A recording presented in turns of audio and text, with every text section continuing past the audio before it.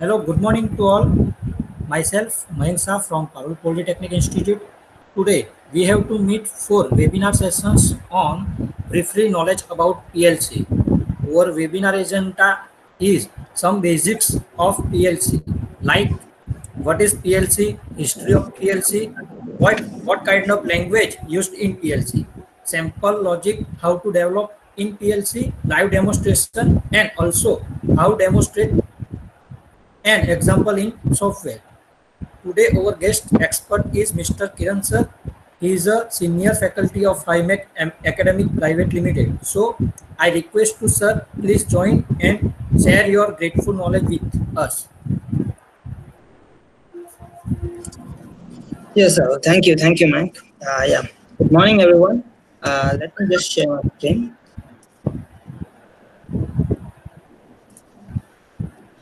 Yeah. Uh, okay, so uh, good morning, everyone. Uh, today we are going to focus on very basic concepts. Uh, I hope uh, you might be aware of the word, P- word PLC and about industrial automation. Uh, and hope I would be able to add some new information, some new knowledge to your to to you, and also apart some new skills apart from just the basic knowledge. I am also going to see some examples, and some of them are very uh, helpful, maybe helpful for you. So let's start with this. Uh, in this presentation, we are also going to cover some of the basic concepts and uh, how about PLC uh, works and uh, what are the fundamental things to be known before start to start work with the PLC. Uh, yeah.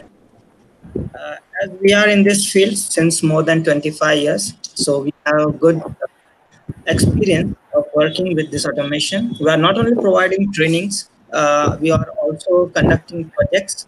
We are also had many our valued customers like Tires, Apollo Tires, even Sun Pharma, pharmaceutical industries, Amul Dairy, uh, and even uh, more than larger clients we have today. And uh, we are not only providing trainings to them. We are also providing solutions, not only for the automation point of view, but we are also in the panel manufacturing. So this is our wide experience. And today my uh, I'm presenting in front of you. My name is Kiran and this is my number and training ID. At the last that would might be helpful for you. At the end of the presentation, you may find it more helpful. So let us begin uh, with it. So today uh, we are going to cover some of the basic concepts like uh, what do you mean by the term PLC? What are the applications? Where do we find uh, the PLC to be used? What are the architecture? What is the PLC basic architecture? We can understand what PLC means from there. And about the scan cycle and scan patterns. So you would be able to understand how PLC works internally. Programming languages, not through deep, uh, not uh, very deep into that. I will just uh, give you the basic name terminologies, the IEC standards, which are uh, not only helpful for you from the point of view of understanding the PLC languages, but also knowing them uh, for a basic uh, methodology, just for knowing the names of languages. Ladder languages, we are going to see in depth more about in depth about ladder language which is the most common language uh, whenever you are going to learn PLC, whenever start uh, learning PLC. We are going to see some PLC programming, and we are also hoping to see one of the most, uh, what I, I'm going to focus at then, the career and the scope in this field of automation. What do you think? Is it automation for you or not? What should I opt or should I opt out of it? So let's see certain questions would be answered at the end of the webinar. And also we are going to launch some new webinar courses uh, in the series called the Industry Automation Foundation courses, which are specifically to those uh, who are very much new to this field and uh, want to learn uh, new information. Also, what they want to know about what automation is and how to work and how to start uh, with the automation field. And I hope no doubt you would find uh, us as to be more important in this field, helping you to come up with the new skills and the practical exposure to this field. Let's start. Today, uh, this would be my flow. So we are going to start with our uh, definitions, then applications, and history, architecture, scan, capabilities and advantages, languages, sample and software. About HiMac Academy, scope, opportunities, and at the end, uh, we are introducing a new certificate course. So that is what our yeah. Uh, so now this is a very basic term. Uh, I hope most of you might be aware of uh, what PLC is to a certain extent. Uh, but to an, uh, if you go by a definition, uh, what PLC means to an uh, extent, here there are certain standards, specifically NEMA is one of them. NEMA is nothing but a National Electrical Manufacturer Association. It is one of the largest trade association of electrical equipment manufacturers. Uh, in the United States, and uh, it's define it defines PLC as uh, if you go by word in this slide, digitally operating electronic apparatus, which uses a programmable memory for internal storage of instruction by implementing specific functions such as logic, sequencing, timing, counting, and arithmetic to control through digital or analog input-output module various types of machines or process. What does this mean? All this uh, uh, definition is means that the PLC is nothing but a small uh, kind of industrial computer. You can think of a computer. What computer does? It computes. It does the job just like our brain does the job with us. So we can uh, use with the help of PLC, we can perform many various applications, just like automating a system. That means there need a, there is a need of a calculation, arithmetic calculations timers, counters, there might be a need of some sequencers, sequential logics, a way of programming to them. There might be some a way of how the controller works. So these all things are included in this word term called PLC. So you can just understand from in one word, PLC is nothing but it's an industrial computer. And uh, if you go by word, what is the benefit of using PLC? The very second point in my slide suggests that uh, if you go uh, by PLC using PLC, it's ability to change and replicate the operation or the process while collecting and communicating matter information. What does it mean? Uh, whatever the process you assume. Uh, for example, it might be a process of filling. Uh, there is certain juice in a uh, tank and you're filling automatically that wall is controlled with the help of PLC based on the position of a container it automatically that uh, wall walls open and uh, the container is filled and again it is transported ahead so you can just imagine there is a certain process uh, we can uh, get the steps out of it. And then writing that steps in terms of logic in the plc so that helps us to actually we can whatever the physical situation you're reading you're uh, seeing you can just actually write in terms of logic in the plc and that is was the best uh, advantage of writing logic in PLC. And that is the only way you can uh, actually uh, create any easiest way, easiest way I would say, to that create a logic and write it in my PLC and uh, create a system, automatic system as you wish. Uh, apart from that, if you uh, go in a broader sense, what we can do with the help of PLC, just uh, by a sentence, if you want to know, you can just say with the help of PLC, you can enhance plant process or production line or machine working in efficient and effective manner. That is the most important thing why the industries are using nowadays PLC because they want their machine to work in efficient and effective manner. In broader sense, if you go in categorization, yes, uh, apart from definition of PLC, there are wide categorization of PLC. It might be based on uh, types of output. It might based on types of size, uh, and it might based on the type of application. It might be some safety application and all those things. I'm not going in detail in this uh, presentation about them. Uh, I'm not interested right now in that term, but uh, there are certain types of PLC you can go by definition, or you can just search on internet and get more about it. yeah. So we'll head to the next, uh, yeah, in this case, you can see here where PLC used, uh, where PLC is used. What are the applications? Uh, specifically, if I go with this uh, dairy application, you can see in various dairy applications like milk processing, uh, not only from processing to the manufacturing to the handling and such kind of various processes has been taken care of and they are managed by using PLC. So PLC becomes the core heart and we can call it as the brain of the whole system. And that is why it is important in the dairy industries nowadays. Even in automobile industries, you might have seen uh, most of the uh, factory uh, videos, uh, National, National Geographic and various uh, YouTube sources from there. You might have come to know about how this uh, new automobile plants are completely automated. Robots are working. They are actually uh, taking all the assembling. They are manufacturing, even in their manufacturing sectors. Even they are in, a, a, I would say, uh, welding and in various sectors of uh, this automobile industry, even painting and all those things. So you might have seen those kind of videos. So that is what automation does. That because uh, all the robots are functional just because of the PLC is integrated in them, it is made functional. Them robotics and automation are right now are integrated. Uh, they are actually in an integrated field. That's why industrial uh, robotics, uh, that's automation is coming into them. Automation is a part uh, that's because of the automation robotics is possible nowadays. Uh, so you can see more far more intelligent robots are there right now in industries. Uh, even most automobile industries make most use of them. Again you can find in manufacturing industries.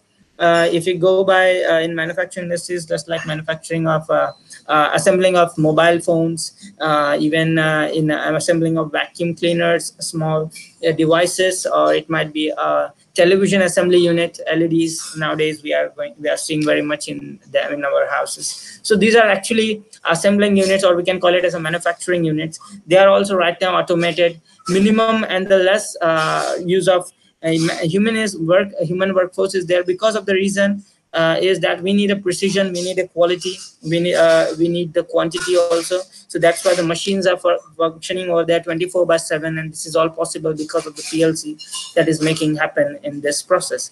Again, the food processing industry. If we go by in food processing industry, uh, various uh, industries just like uh, baking, uh, even frying, cooking and various kind of operations has been done with the help of PLC. Even you can uh, see in this uh, video small uh, at the, this my bottom picture, you can see here that a simple, even this rolling till the molding of this folding of this whole specific small item is done with the help of a robot. So this is all kind of things you can do because of the plc because this whole the programming is done in the plc that's why it is important and this is where the plc is used. Even in packaging industry packaging is very much important. Uh, actually there is a uh, basic uh, in packaging we call it 3p that's a uh, we can we need to package it in a specific way. We uh, can't actually uh, say that uh, if you just uh, go and pack anything in a certain way because if you are handling glass you need to be very specific in a manner. If you are uh, right now if you are, need a protection you might need preservation you need promotions or uh, it can be you can see the three p's are important. The packaging should be like this. It should have protection preservation and promotion. So these all things should be taken care of and it is not always possible with the help of human hands. That's why it is important just like paper boxes or uh, paper packing or it might be some corrugated box packing plastic box packing. Various kind of things uh, has to be uh, done with this uh, is done with, with, the help of this plc so sorry just uh, so this is all it is possible because of uh, this field and there are many more applications you can go you can go in this field so there are various application of plc so uh, this is some of I have highlighted, and you might find more than this. So I hope you have you have give, uh, got the uh, in which industries you will find PLC. So right now there is a question in which industry where you will not find PLC. So that answer is very difficult to find. And if you search in the uh, context by using a keyword where the PLC is, you will find many options on the Google itself. The next. Uh, there are uh, if you think about where what how the plc started what was the history behind it? Uh, so the plc uh, started with the since with the help of uh, there is a actually a nice story behind the starting of plc if i go directly to the history. Uh, there was some at the starting of the plc if you think there was actually very much race of developing the controller which is much more convenient to the industrial applications and in this race, uh, there were many, uh, actually, uh, initially, if you think about what was there before PLC, was there any automation? If I just do a question with you, let's think about what was there before PLC in, in the field of automation. Was there automation of industry before the field before the PLC arrived? Yes, there was an automation. Even I'm also teaching this one of this thing in my PLC courses to the students also uh, in this case they, they are impart them a relay logic based system. Because relay is the most important thing. Uh, if you are able to understand the relay based panels if you are able to develop a logic called an automatic logic without the help of any uh, logic controller just with the help of relays then you are very much aware then you would be very much easily uh, uh, you would be i would say you would be able to get the essence how to develop the logic in the plc just by if you know how to develop a logic using relays. That is important. That is important because the initial phase you must know about it. So this is how in 1960s uh, this was started. And since 1960s uh, it has been there. The first it was actually there are some fun facts i would say. Uh, in that was Bedford associates which was initially run by richard morley or richard dick morley. So he won the contract actually in that case and they quickly formed a new company and uh, that uh, around this technology called they called it as a modicon. What they called as modicon? Because there was a technology called modular digital control kind of technology. That's why the modicon name emerged. And uh, that was the only reason in 1969 by the june they were selling this uh, first plc called the 084 and this was their 84th project actually and which was sold over uh, 1000 units so you might understand at that uh, time in during 1969 so it's quite older even might older than your parents to a certain uh, if you some of them are listening now. And uh, there's early uh, experience this gave birth to the next model that was the model 84 model 184 in 1973 and which set modicon as an earlier leader in the programmable controller. So you might understand uh, from how the journey of plc started and uh, certain questions like was there automation before plc now you must not say no. You must say yes. Was there was but it was not on a controller base but it was fully uh, on a mechanical and electromechanical base called as a relay based panels and contactor based panels were there. Uh, yeah. Uh, what are the manufacturers who are the manufacturers in this plc right now in current market today's scenario there are various manufacturers in this uh, uh, plc producing plcs most uh, one of the most uh, well-renowned uh, of them is Siemens, ABB, Allen Bradley, even Omron, GE, Fanuc, Delta, Mitsubishi, and various others are the manufacturers you will find in this market. Siemens, Allen Bradley are much more known for them. ABB is known for their robots, and uh, GE Fanuc is also known from his packaging robots and various even Delta PLCs and all those things. I work especially with the Siemens PLC. I have a bit knowledge about Allen Bradley and all those things because I am uh, working right now in a system integrator. With the uh, the this system integrators are actually our partner solution partner with the uh, to the Siemens. So we I have more knowledge about Siemens controller, and uh, yeah, we'll move ahead to the next slide. So right now we have a basic idea of what is PLC, where it is used, and uh, how to uh, how how it started, where from where it started, what are the roots of the PLC, and uh, wh who are the manufacturers. Apart from all this information, the there is a core architecture of a PLC that doesn't differ. You might choose any brand out of the listed you have seen right now the list which I've shown to you. Apart from that, you will find PLC that is used specifically. It has the uh, it can be divided. There's internal architecture into four devices. There is an input module, there's an output module, there is a CPU, central processing unit, and a power supply. So these four uh, structures you can find. What what is the uh, importance of input and output modules? It's quite simple from the name itself. Input module just it is sensing the input from the devices at the same time what is uh, need of the output module it actually generates certain kind of signals the signals might be an ac signal or dc signal or it might be a non potential free contact who knows because depend on the uh, type of output module you select you get the output so it is not a fixed so never ever understand the plc as a fixed device just like in uh, simple microcontrollers or arduinos you are hearing right now nowadays. You might think arduinos are good enough but when you come to plc you will find it's more easy.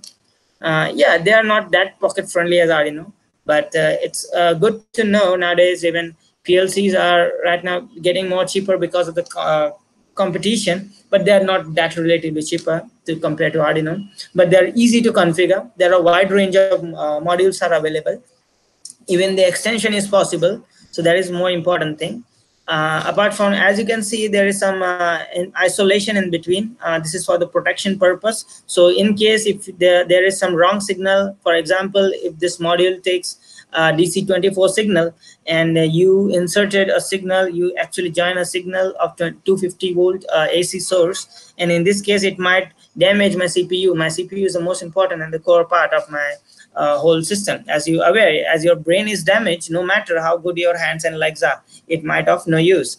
Similarly if my plc is damaged my my plc damage means my cpu is damaged it is of no use by having as many as good as input outputs. So that's why there is a isolation. This isolation prevents any problem happens with this input module will remain to this input module. It will not affect my cpu similarly with the output case it is kept isolated no matter if someone by mistake connects an input to this module by mistake, it won't affect my CPU. So my CPU will always remain uh, in a safe, um, in, in a, always in safety manner, I would say it will always be safe. Apart from this input and output module, they are uh, subjected to your hand, how you use it. And uh, generally the program is stored in the non-volatile memory, so it doesn't uh, lost from it when the power is off.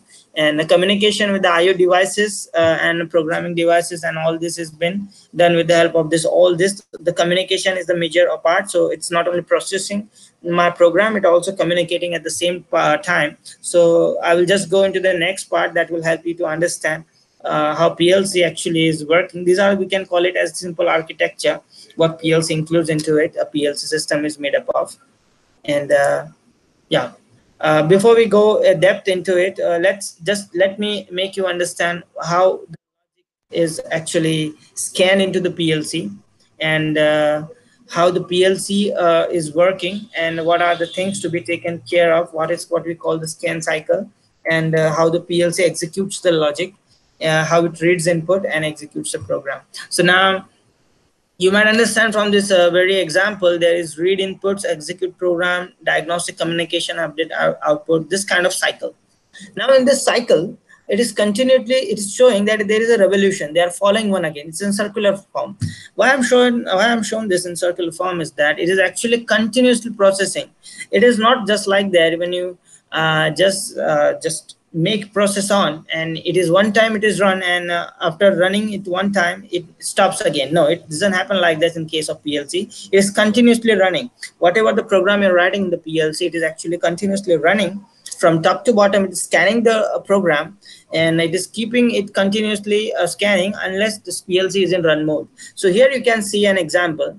Uh, here uh, you can see there is a reading input from uh, if you're pressing this button a plc is reading the input and then it goes it executes the program. It sees this is a program it executes the program. Depending on whatever the logical program you have written it adjusts the output.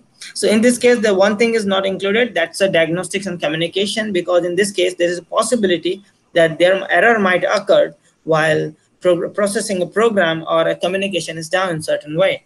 Because plc as an individual controller nowadays you would won't find certain kind of systems. You will find a very uh, system that is integrated in a form just like there is various PLCs are in communication, not only in communication with uh, the same brands, but with the other brands, There are other uh, plants, I would call it as a, a, a, different sections of the industries are now communicating with each other because of this communication facility that is available with the PLC. And that has make our system more handy uh, and more useful for the industries. Uh, that's why you will find various communications are established between the PLCs. Uh, what exactly happens in input as it detects the inputs uh, of uh, states of inputs and in program cycle it executes all these uh, states of program. So it says uh, at what uh, what are the instruction that is written in the program? It might be some on off instructions. It might be some uh, decides on what is the input given to my plc other than that, the output, even in output case, you will find uh, there are some output, uh, the ladder scan, there is some scan happens in the program and it updates that program and uh, that program is updating my output memory of my PLC and that output memory is written to my output card. So actually PLC is not uh, working in a, the fashion you understand, just like pressing the button and it gives the output. Whatever the you're giving input to the PLC, it is stored in some memory that PLC takes the, the input from that memory, it scans uh, the uh, according to program, generates one memory called output memory, and that is stored somewhere. And that memory is again, uh, uh I would say, scanned by the output device, and that is what we got the output. This happens in a very microsecond, and this is all called uh, in milliseconds and nanoseconds, which is what we call this uh, scan cycle of a PLC. Uh, you can just understand that is far more than enough uh, explanation of this uh, scan cycle. Uh, what is the scan pattern? How exactly PLC scans your program? In this, all the whatever I have said right now, you have understand to a certain extent what PLC does, how it scans, and all these things. It goes like this. If you see in this uh, very first image, this is a program. This is a program written in ladder. You can see it starts from the horizontal scanning First of all, it scans the horizontal. It doesn't go to the second rung. This is what we call the rung. So it goes to the first scan and then it goes to the second by the vertical scan. So it does like this horizontal and goes vertical, horizontal, vertical, horizontal, vertical. It is, uh, I would say this image would be more clear. This is a horizontal, vertical, horizontal, vertical. So it goes like this. And this keeps on continuously running. This is all what we call the scan pattern or you can understand this is how the scan cycle runs. Uh, I hope this information is uh, quite useful. So if you're unaware up till now how PLC work, how the program executed right now, you might have that got the information to a certain, uh, I hope this might, this might be useful. Then uh, why PLC is used nowadays? Because of its certain capabilities. The very foremost, these are the capabilities not subjected to any brand of PLCs. These are, you will find these capabilities almost in all industrial grade PLCs that is available right now in the market. Uh, first of all, is the logic control. That is the first and the foremost parts why PLC is uh, emerged into the market. Other is the timer functions. You need not to take any timers from outside. There is a built-in timers in the my system. So in this case, you need to uh, just execute. You just need to insert a timer in a program, and you will find uh, it is all right running. Counter counting applications can be done with the help of uh, these counters, integrated counters. Analog signal, so you might be uh, knowing of programming, you might be, if you're not knowing to the programming, you might be operating a system uh, just like a digital uh, logic. I would say just like at your home right now, you're sitting. If I say press that switch, you will say, okay, you'll just press that switch and the bulb is on. So that's a kind of digital logic is just by giving some command and that command is either one or zero and the output is either one or zero. Bulb is on or bulb is off. But in certain situations if i say uh, make the flames high of a gas of a gas stove you would say uh, okay you will make the flames high. But does it mean it is one or zero? It's no it's a kind of smooth control. You will find the temperature is varying depending on where you place the situation of the uh, where you place this uh, i would say this location of the knob of a gas. So in this case whatever the flame uh, whatever the amount of heat you needed you will adjust accordingly to your sensing. You will just sense whatever the amount of heat you needed. And after sensing that you will adjust the flame. If you want to cook chapatis or in this case you can just uh, imagine how you are going. You are not uh, playing the logic of one zero. You are actually adjusting the flames in certain way that helps you to cook your chapatis in a better manner. So this certain kind of uh, processing you might understand that is also coming in industries where we are not dealing with a small amount of small volume. There are huge volumes of liquids, even milk pasteurization kind of process and all these things takes place. So they are all the analog process and they need the analog control kind of situation. That's why the analog signal is important. PID control is again the part of the analog signal. So it's what we say. If you're not aware of PID control, no issue. It's very easy. Actually, uh, when I was an undergraduate, when I was a graduate student, even at my time, PID was a kind of a thing that what it does, even I was uh, just uh, knowing it was a big thing for me. Right now, I'm able to tune the PID. I'm working with PIDs and it's very easy. It's very easy to understand with the practical concepts. You can understand that way. And there are certain mathematic functions. You need not to provide any extra uh, softwares to it.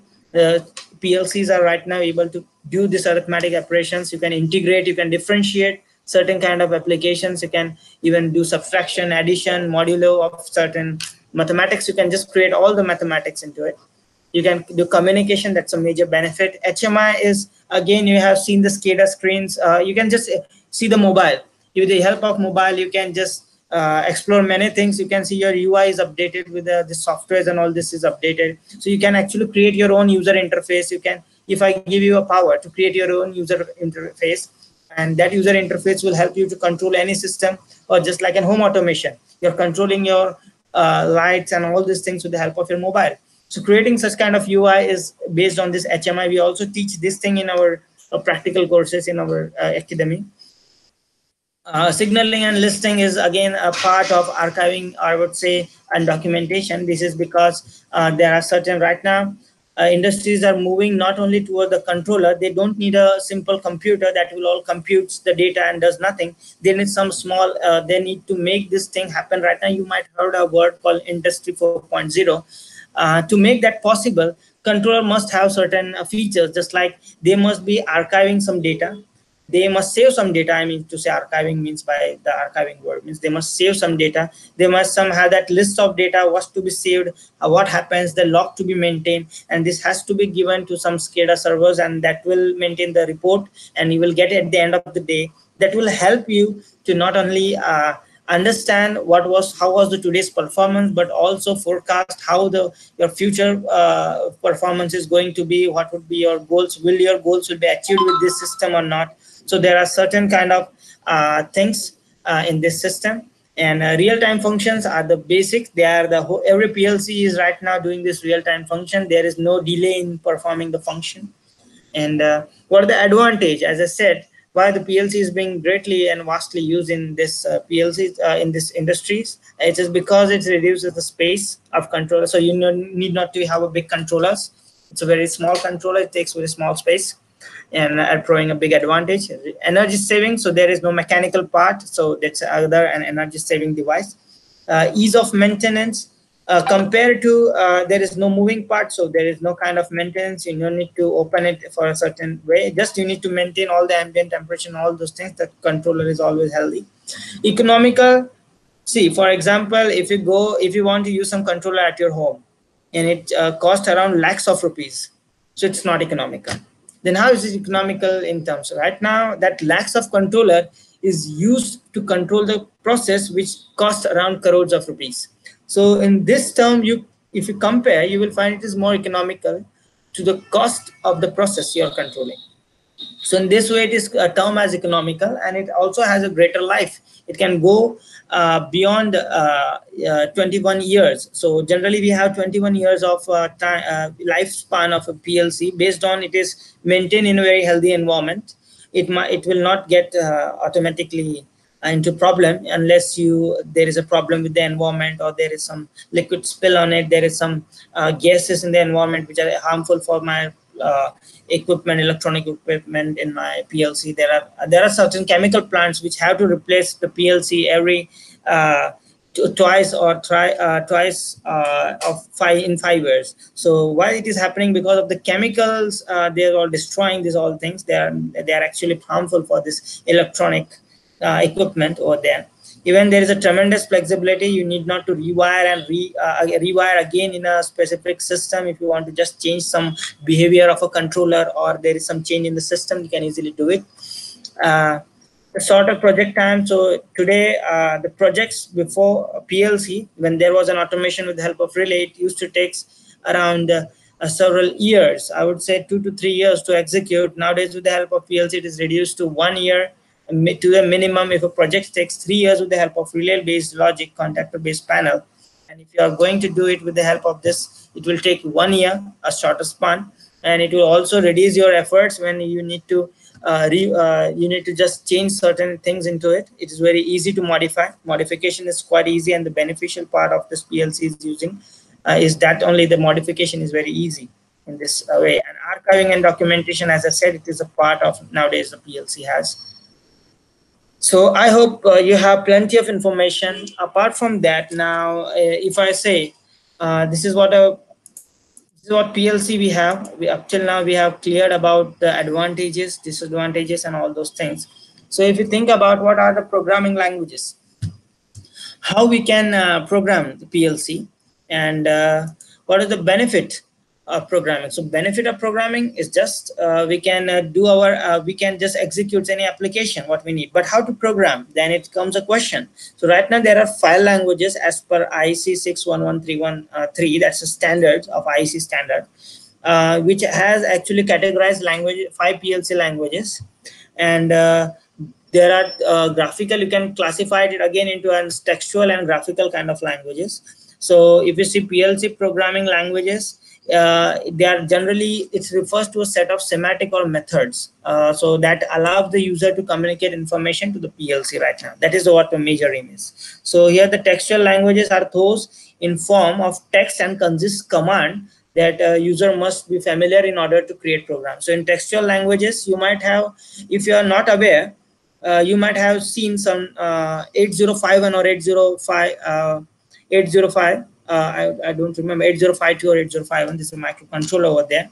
Uh, in this case you will find there are certain uh, mnemonics. Uh, mnemonics in this case uh, there are just like a for and o for or and uh, there are some equal to kind of and jump jmp jnz certain kind of uh, i would say mnemonics are there to write a program that are kind of textual based language that is also available in plc apart from that you can also find a c based languages just like you find in arduino that's a structured text languages. So in structured text languages you will find language like if else this can you can write a loops into this. And uh, apart from that uh, textual languages are not that easy to uh, understand in one go. Because of the reasons you need to be aware of the language itself first of all before you write. But uh, if you are very beginner if you want to learn plc i would say ladder is the best way to start with. And it's a graphical language. So graphical languages are generally easy to uh, easily understood by the humans in this case. So you will find even function block diagram is again an improvisation of the ladder. And sequential function chart is nothing but it's a kind of sequencing of a ladder to exit, execute your logic in a certain manner.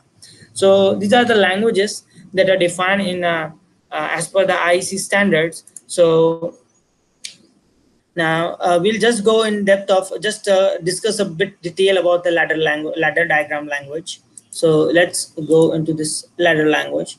So there are three basic elements of this ladder language. We call it as a rung, branches, and instructions. So now uh, in this, what are the key points? So you will find a rung generally, as I have shown in the previous figure, rungs are scanned from uh, zero to the from the top to the bottom. Top is the zero, and the highest number is at the bottom and rungs are left from left to right. And in this case you will just understand this is what we call by rung. So here this is called the rung. There is a positive power rail and the negative power rail. The power flows from positive to negative as we are aware of the basic uh, how the power flows to the in a basic circuit. So it's a conventional way of power flow. You can see the positive to negative. In between you can write your program with the help of NONCs uh, certain kind of contacts are available I will show you a basic program at the end of this. Um, so what are the branches? So branches are generally even you can find they are creating a different path.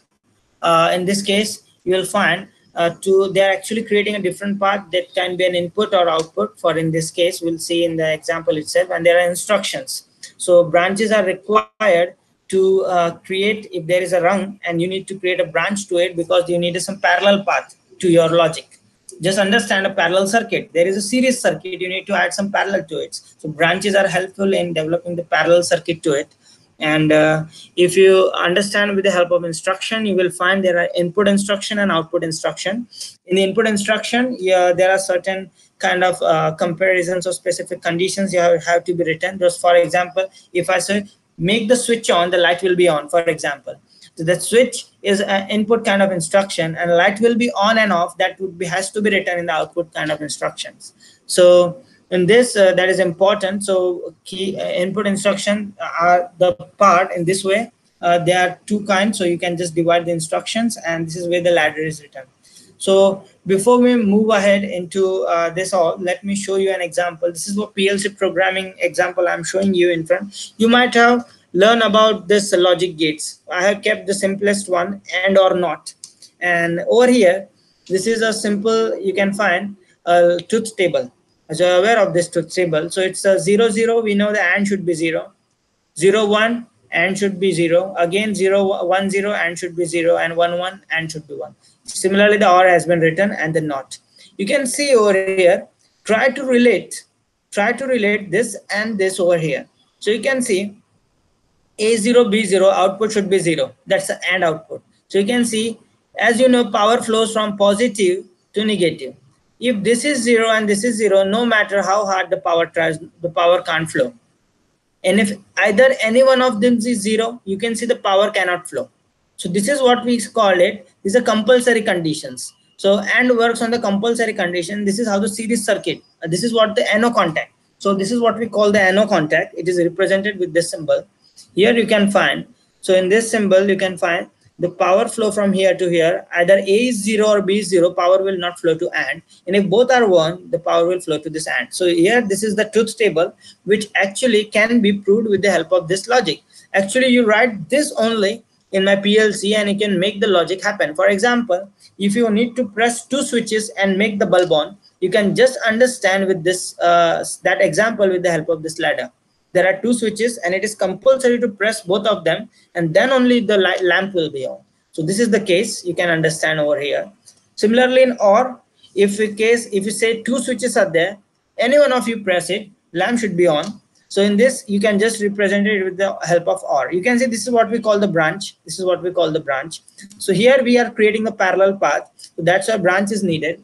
Here you can see either of them is one lamp should be 1 so in this case a is 1 or b is 1 no matter or both are 1 this will or will be always 1 or in case any both of them are 0 then only it will be 0 so that is very easy to relate. So you can understand why ladder i said ladder is very much easy and essential language if you understand it very in a manner you can actually develop various logics. It is far more easy than uh, writing logic to your arduino itself. Even i was struggling at the initially with the arduinos right? I never struggled with the plc in this case of a ladder.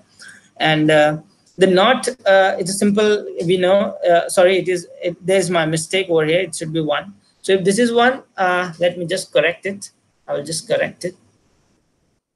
Just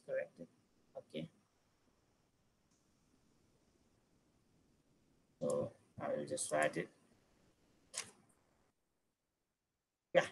So now we can see.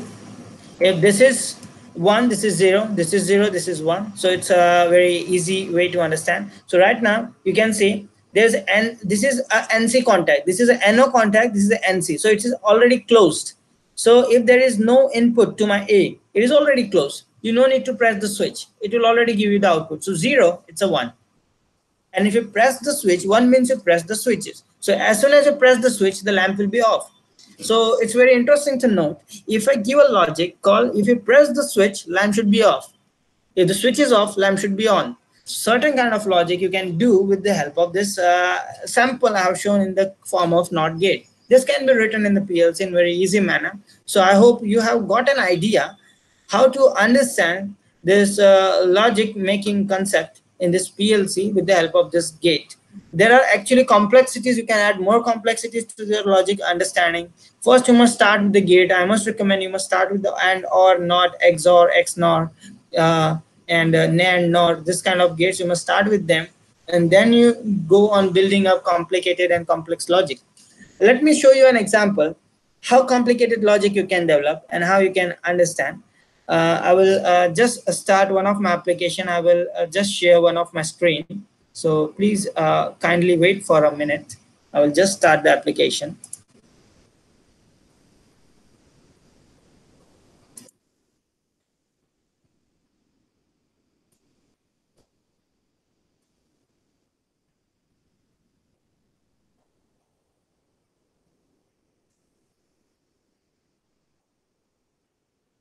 Yeah, I'm just starting it. So kindly please be have patience. Uh,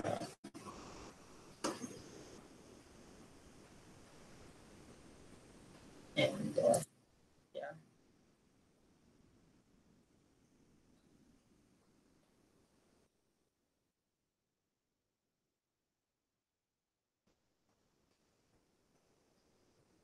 So I'm just adjusting the screens and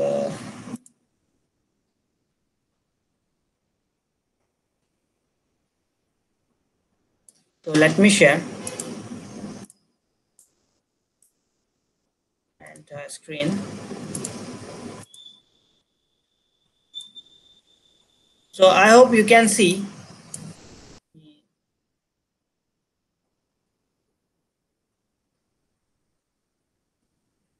So you can see over here. Uh, let me just start. This is my application. I hope it is visible. Uh, yeah. So this is my uh, process. So here, let me explain you. I will just open one editor. And I will just load my program and I will just explain you. Uh,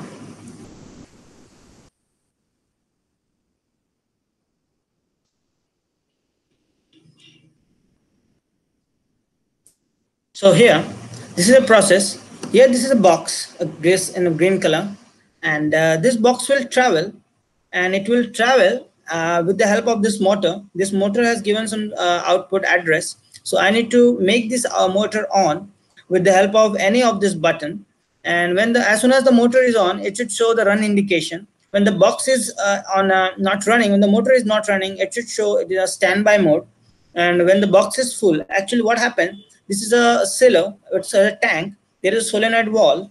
So as I this box moves at the bottom of this, the solenoid valve should open. This, le this level sensor will indicate the level of box that is filled. If it is completely filled, the box should move ahead and again the box will, this line will keep continue rolling and rolling. And for that, I need to draw, I need to make some lo uh, logic.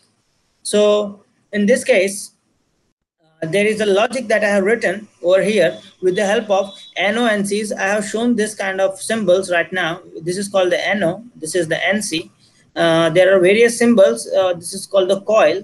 And this is a latch and unlatch kind of operators. I will not explain much more deep into it, but this is a simple language uh, logic that I make using ladder only. There is no other languages used in this uh, formation of this logic.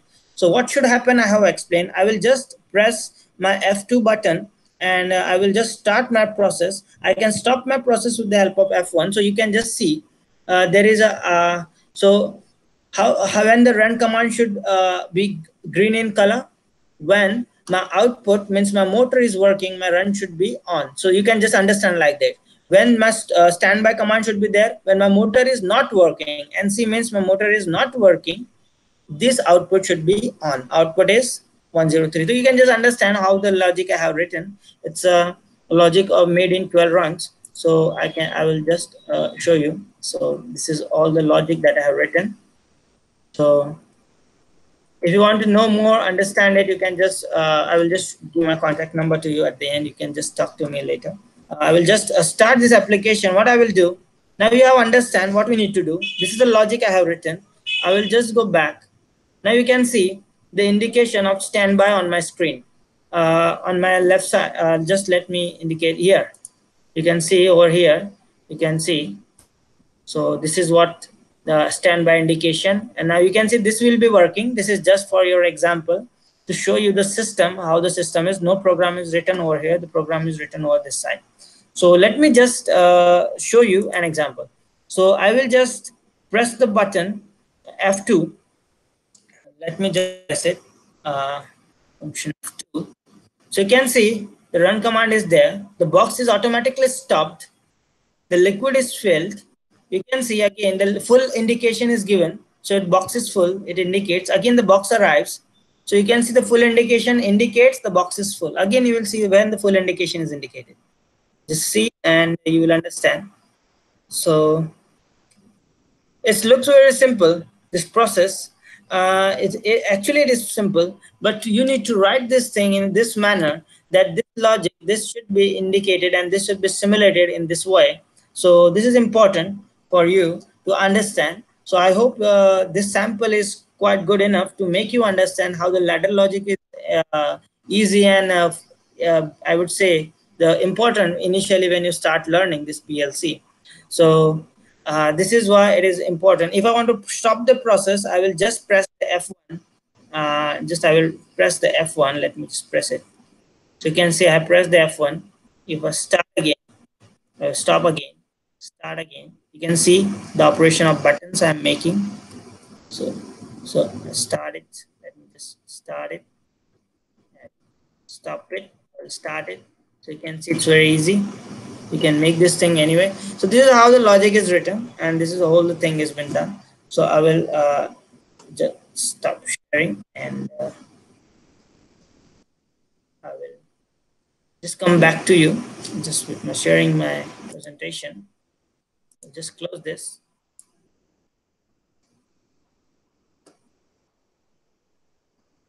Yeah, and uh, this is the window and uh, just wait. Problem with my screen.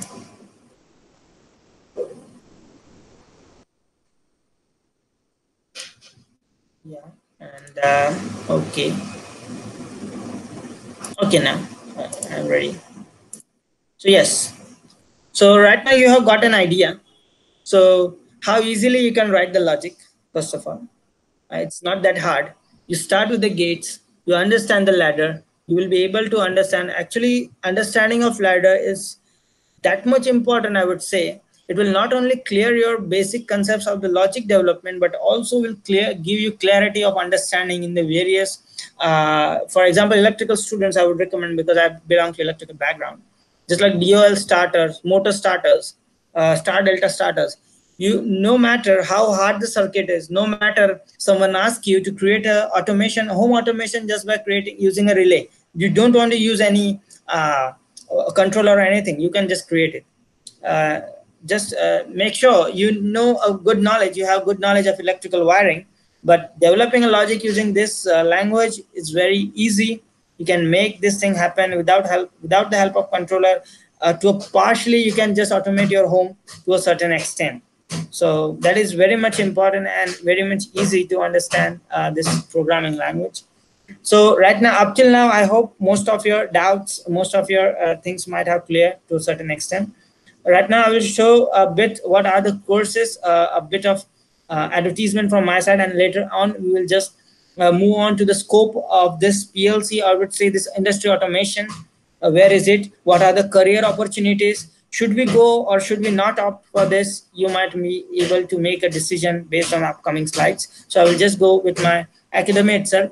So right now this is my academy HIMEC Academy. It's located at the Fatehganj right now uh, as we are uh, closed because of this lockdown. But we offer certain kind of courses. Over here we start with the very foundation to the complicated to the advanced courses. Here we also uh, from very foundation when to opt the foundation course when you're very much new to this field and uh, you are just completed your uh, diploma or uh, you're just in your graduation level or just at the completion of a graduation or you have completed for instance. You may come. It's very easy uh, to understand. There is not much uh, i would say complicated thing. The important thing is that uh, if you are a diploma student you must complete or you must be on the verge of completing your diploma. And if you are a graduate student you you might have started your graduation. You might come after i would say a second or third year you must come in the third year itself that's a very good for them so that is very much helpful in understanding uh, this uh, foundation course. We start with the base. We go for the PLC. We also go for visualizations that include HMI and SCADA kind of uh, system. We also teach them DCS, VFD, variable frequency drives. Uh, see, as I, as I said, we are not only teaching you all these things. We actually have various projects we have various numerous clients and uh, we have we are actually imparting you the uh, actually upcoming whatever the projects uh, i'm working on or my colleagues are working on. And i find something instruction interesting to share we actually share that from with the help of uh, this all this training academy. We also provide information based on the various communications. We also help you to set up actual industry kind of communication in my lab. My lab is quite big. I will just show my pictures some of them and we also train on the electrical panel because we have our manufacturing site. Right now it is open at uh, GIDC at with a minimum number of hosts because of some uh, lockdown provisions uh, government rules.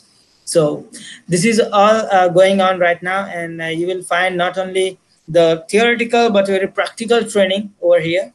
Uh, this is my academy. Here you will find we there are various students. This is my academy at Fatehganj you will find uh, various practical kits are there. Students are practicing many various type of controller uh, and various brands are there from plc to vfd and all these things we do at our HIMEC academy. And uh, apart from that we are providing a certificate course. So this is how a certificate looks like. And uh, these are the benefits of uh, training at HIMEC academy. So in this, we also provide placement assistance and 100% guarantee about that in this case. So you have 100% guarantee on hands-on also, so don't worry.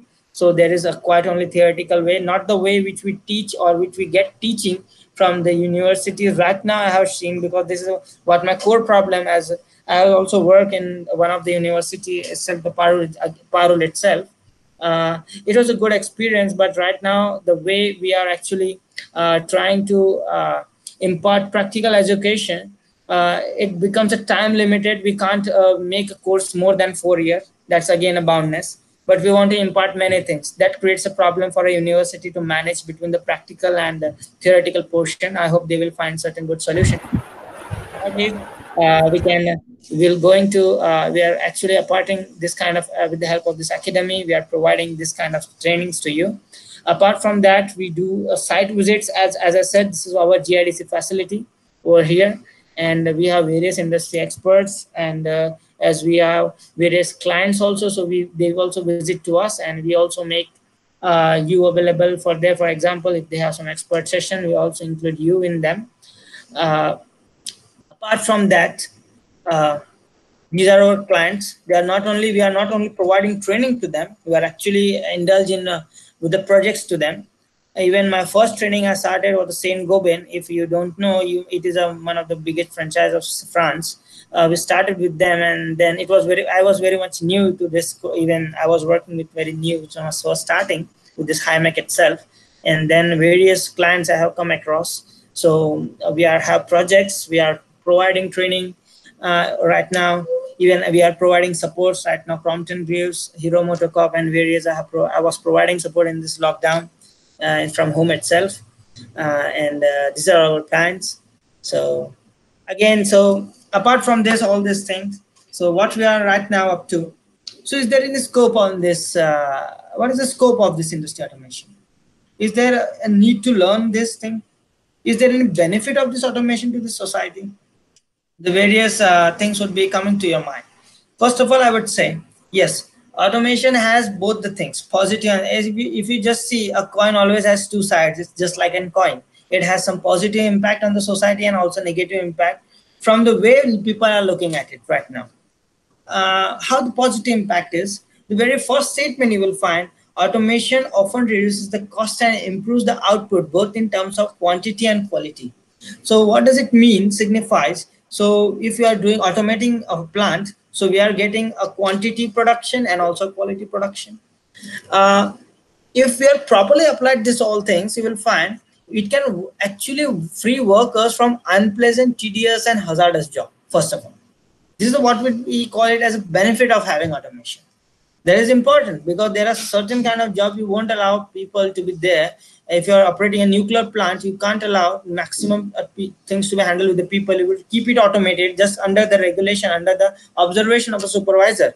You don't need many workers working with this uh, uh, nuclear plants or any if you want to maintain a huge amount of even in dairy industries if you want to maintain a huge amount of milk if you are incoming pasteurizing and all this packing till that you can't keep all the laborers all the time active with the same uh, agility and doing the work in the same quality that's automation becomes important thing and in spite of all this beneficial uh, you'll find there is problem is that actually automation is stealing the jobs now you would say, yes, you agree to a certain point. Automation is rightly stealing the job. I would say, yes, it is stealing the job.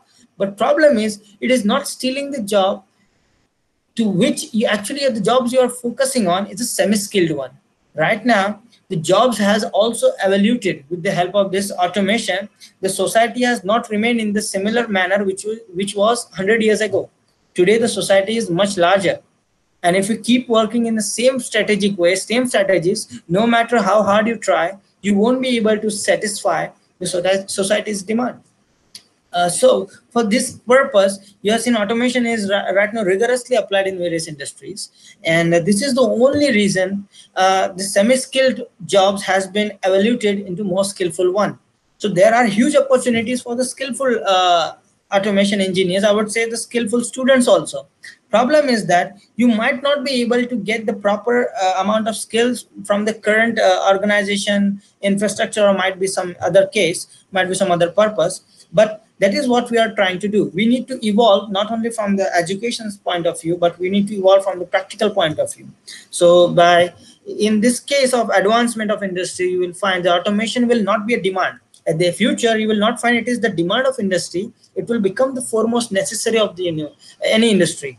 Because of the reason the large societies uh, are societies are growing out of control. That now population is booming. There is no doubt in that. We don't have a control for that for controlling the population right now. But at least we have to do something like that. We can actually satisfy the demand of our large growing societies.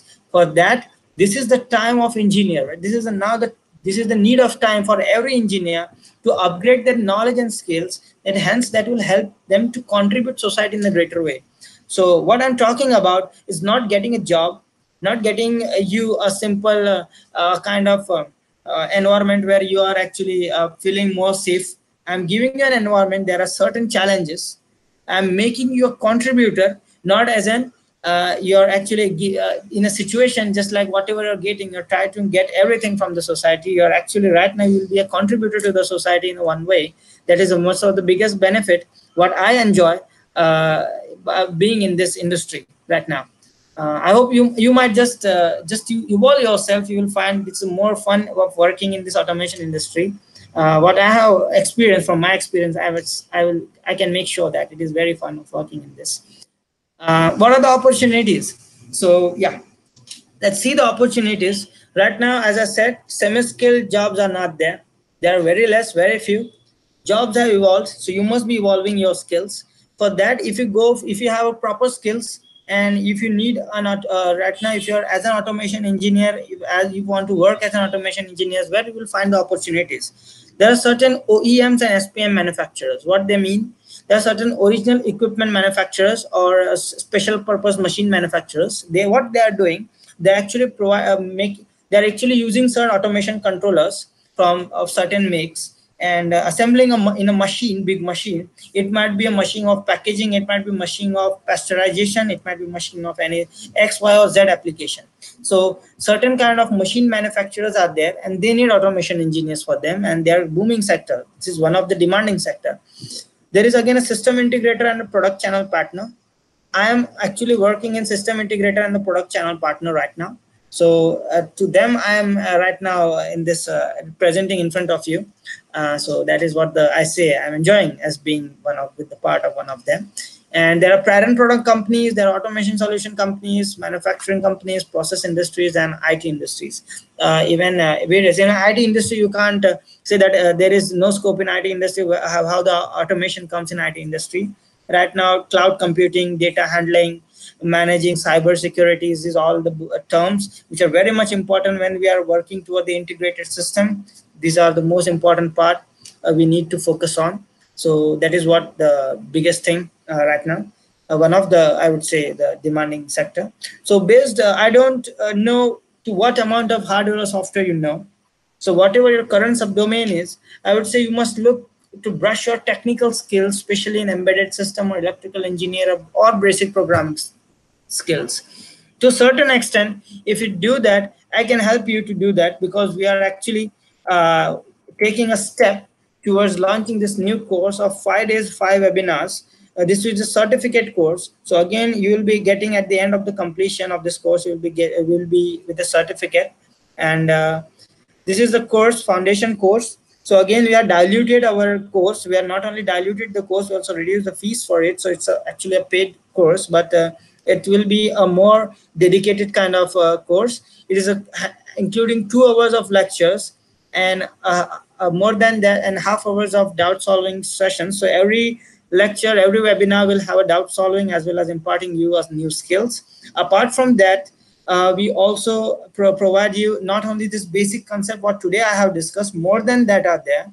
Apart from that, we'll also teach you how to program PLC the way that you are uh, right now you have seen one example what i have shown you how that uh, automatic filling uh, process so you will be able to develop that thing actually that would be your uh, various uh, starting uh, initially you'll be starting with those kind of logic developing wiring scheme tagging scheme logic development and you will be knowing the what are the ranges in plcs and all those things So again, we are limited to a batch of 25. We are not exceeding more than that as we are focusing more on the student uh, skills improvement.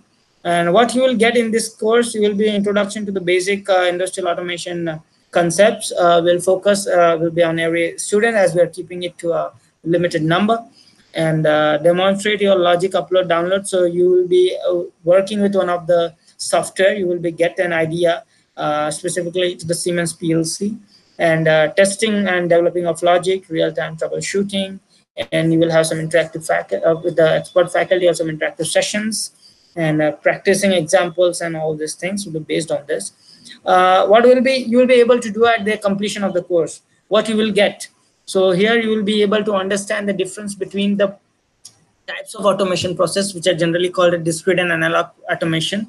There is a certain uh, concept to call it there is a input output what are the concept of input output and plcs in depth in more detail uh, you'll be understanding the different industrial communication protocols uh, how they are useful why they are and how to set up to a certain extent you'll be also get an idea how to draw so with the third point you can see the point draw the wiring diagram for the relay and the contactor based automation circuit so we'll not only provide you the method to how to work with the PLC, but we'll also make you uh, to that level that you might be able to draw the wiring diagram for relay and contactor based automation circuit. So that's a, again a very beneficial part for that.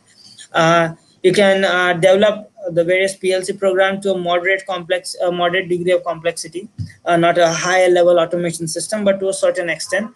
And uh, diagnosis and make correction in PLC program and have idea about various PLC. So this is a most of our pointed outcomes from this uh, webinar series. And uh, this is what uh, how much it costs. So it's uh, 9.99 right now. And uh, I will just show you. We have two batches, morning and evening. You can register. We can uh, make the register as soon, as soon as you register. We'll send you the link, and we can sorting um, morning and evening batches in that. For this uh, if you want to get more information what you can do you can go to this video. If you want to enroll just you can write the HiMac on the Google. And just by writing HiMac you can go back to our training. And uh, over here you will find there in our website over here. There is a base information about this courses and you can actually enroll and this is where you are going to go into training. And here just you need to uh, just go down. Here this is the information about the training and uh, there is all about the webinar. And uh, you can just this is my number and everything is written out there. And uh, you can just directly go and click on uh, if you have any inquiries or something like that you can click on pay now and over here you can find there's a directly written over there you can just uh, write your all details name uh, username, email ID, phone number, and then you can pay now. You can click on pay now. You accept all the payment Visa or PayU or Paytm. You can just pay to it in this case. Uh, so this is all a basic, simple how to enroll at our website. If you're interested, you can just message me. I will just share my contact with you. So uh, this is uh, how to reach us. Uh, if you are interested, if you want to know more about it, if you are more interested in the such courses, let me know. Uh, these are our Instagram, HiMac, and we also provide some learning videos on HiMac Academy YouTube channel. I would suggest uh, you today, if you are free or uh, specifically GT students, you might go to this uh, Academy uh, YouTube channel. You will find some very interesting and learning videos. Some of them as I said, how to develop an automation circuit, relay based or contactor based circuit from a uh, logic, given logic or given question. Uh, there is one of the video for that. We have actually I have conducted a webinar on that. There's a video of recording over there. This is my WhatsApp number. You can message me. You can contact me. Uh, and if there is any question answer, uh, you can uh, just ask me. so, or else we can just conclude the session. Yes. Hello, sir. Can you hear me? Yeah one of the students from electrical department having a question. Okay. Yes. What What is the role of rack and chassis in PLC system? Uh, sorry, what is the role of? What is the role of racks and chassis in PLC system? Racks and chassis. Yes. rack, rack and chassis. Uh, rack and chassis. Okay, fine, fine. See, there are the different uh, types of uh, PLC. As I said, there are rack-based PLC and chassis. Chassis is nothing but a body, and rack is nothing but an installation. For example, uh, let me just, I will just share uh, one of the image. Uh, let let me just share one of from my screen. I will just.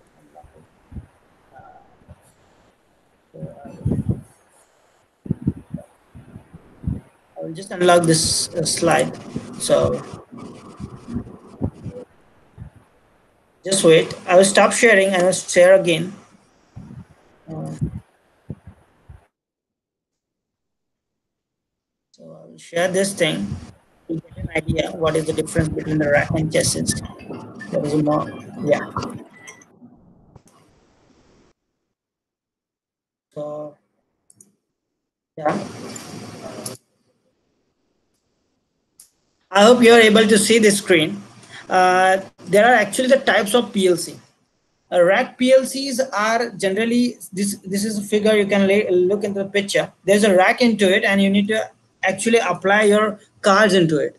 And uh, in chassis base, there is chassis is nothing but the body over the itself. There are not much difference into it. A rack-based PLC is a common terminology. You will find it on uh, various uh, segments. Uh, chassis you can just uh, understand it's the body of the PLC, nothing else, or just the whole system. Rack-based PLC are there. Yeah. Is anything more? Sir, one more question. Yeah. What is the redund- redundancy in PLC? Uh, yeah, redundancy in PLC means uh, here you will find two PLC. Right now, the second example, yes, the very good question. Just uh, the very good slide in front of you right now. You can see the two PLCs are working right now at the same time. Redundancy means a network that has a spare for it. For example, if one PLC fails in this case, the other PLC will take over. It is actually PLC's master and other is just uh, uh, looking the health of the master. If in case some PLC fails or certain if goes some problem, the other PLC will take over. That is what the redundancy channel does. This is all the redundancy is not in only the PLC, but it is in the whole network. So if one fails, another will take over. That is what we mean by the redundancy in a system or in, in the case of PLC, there are two PLCs working uh, parallelly. One of them is working, one of them is just uh, seeing at the help of the help uh, health of the working PLC, master PLC. This is how the redundancy works. Okay. Yeah, Okay, sir. One more question for faculty side. yeah, In market, there are so many institute yeah. is is offering automation courses. Students Okay. are con- students are confused about where to go. So which Hmm. point consider? Initially, they all give confirmation about placement also. So Okay. even and after completion of this program, when job are their starting salary is much lower, approx six thousand to seven thousand. What is the Yes. reason behind it? A problem is that uh, initially, say in this field, there are various small system integrated in the local body right now, and uh, big companies are there. Uh, the big companies are not directly hiring uh, from any a new fresher this uh, field. Actually, when I started, even I started from very uh, low uh, low point, and in this field, initially I was having no experience. I would say, and even if they have experience, they almost uh, give the same package. Problem is that in at the initial process, these various local system integrators are there. Even I would say this local uh, channel partners are there. They just need some new fresh candidate, but they want to check their skill. They can't invest the full. Uh, they actually initially there is a mode of taking the student. They first take it as a trainee, and then they do as a uh, in uh, I would say probation period, and then they do as a confirmation. So they have that uh, way of hiring the student. There are proper specific channel partners. I was in one of them. So initial salary is very much low. And in probation period, if they found you're good in training, they actually increase in the probation period. And at the end, you get a handsome amount at the end of your confirmation. But problem is that many of the students are not able to complete the training period, which is of three months. And I have seen this problem because of the reasons. Uh, most of the uh, this uh, training institutes are giving 100% placement just like uh, i have said i will provide assistance but i can't guarantee to 100% that i will be able to place you. Problem is that in the case of 100% placement they not they actually divert you from this field of automation. I have seen these cases. This that doing the course but whatever the firm they are working they are not actually uh, applying that knowledge. It is certainly different from whatever they have learned. So opportunities come but not in the way you're uh, trying to uh, sometimes it is off season kind of thing. There is not a season of these opportunities. Whenever someone leaves there comes an opportunity and we actually recommend our students to them. We are actually to a one post we recommend our two to three students. And out of that two to three students one of them gets selected. Rest two are looking. I know this is a current situation. It can't be handled in one way. There has to be addressed in a different way. But this is the way I, we are actually working to it. We are not only uh, what is what the other advantage we are uh, giving it our uh, academy is that we also have Hammock Private Limited and we have various uh, requirement of students. We are not hiring from out, outside. We from the, previous year we are stopped hiring from outside. We are actually hiring the students from our academy itself. For the very basic reason is that we don't need to train them after taking them they have trained themselves in this uh, academy itself. That is what the, how we are dealing with this concept right now. So there is not for uh, straightforward answer to this question, but I would say this is a situation that is the only reason. If someone is saying they are providing 100% uh, placement guarantee, then I would say you must question them first of all. Where do will I get the place? But in most of cases, I always say we are giving 100% placement assistance. So we provide you help in getting, but we never guarantee you because that's not a, a way to deal with this situation. We never do the fake promises in this case. That is the only reason I have said initially when student is able to get into this campus placement, they must have the proper skills.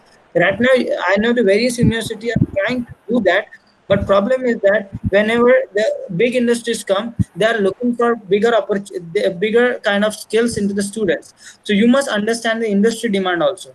So that's why the only reason is that sometimes the university also fails to convert that chance. Even we also fail to convert that chance if we want to provide a kind of training to our students. So that is all the things right now. We must have to work uh, uh, together for that. We can't say there is a straightforward answer to for any one. I hope uh, that is more clear. Yeah, okay. Sir, one more question. What is the yeah. difference between fixed PLC and modular PLC? See, fixed PLCs are the PLCs in which there the number of input and outputs are fixed. Uh, you can't exceed his input more than whatever the recommend. Just like you uh, think about Arduino, or think about a 40 pin uh, IC, a 40 pin micro 8051. You more than 40 pin you want a 41th pin you can't add to it. In this case similarly in case of arduino you want to extend the number of ios you can't. But this is this is what happened with the fixed plc you can't exceed its number of ios but if you want to exceed the number of ios you need more input output channels then you can go for modular plcs these modular plcs allows you they're more flexible. They allows you to add more number of input and output according to your requirement. So there is no compulsion to purchase every card for it just purchase those cards which is required as per uh, which is good as per your requirement i hope that is clear okay sir okay sir thank you yeah. so much sir okay Parul University is very grateful to you for coming to this critical COVID-19 situation and share your knowledge as well as valuable time with us with this digital platform. So again, thank you so much, sir. Okay, okay. Thank you, thank you, Mank, and uh, thank you all of you, all the listeners. Thank you for your questions. That was a nice thing. Uh, the best part is just having Q and A with all of you, and I hope this information is uh, might be useful for uh, all of you. If you wish to know more about it, I will just say go to my uh, YouTube channel, know about it. Uh, you might be there are very free webinars available over there. I have already uploaded over there. the knowledge is very much great. That is very much helpful just to upgrade, to know about more about PLCs and to upgrade your skills. Uh, thank you for your time, all of you, and uh, we must take a leave. Thank you. Thank you. Thank you. Thank you, sir.